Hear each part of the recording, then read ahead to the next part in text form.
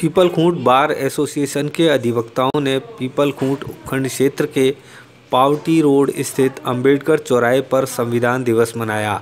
इस मौके पर संविधान निर्माता बाबा साहब अंबेडकर की प्रतिमा पर अधिवक्ताओं ने माल्यार्पण किया। इस मौके पर अधिवक्ता विशाल सालवी, सीताराम भगोरा, रमेश चंद्र प्रभुलाल निनामा, सतीश निनामा, रामचंद्र आदि मौजूद थे।